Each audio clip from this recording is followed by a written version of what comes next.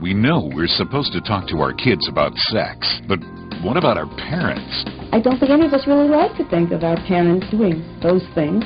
We all need human touch to survive. This or kisses. If you have older loved ones who are still looking to love one another, you don't want to miss this story. I love her. She loves me, and that's what it's all about. Wednesday on NBC 15 News at 10.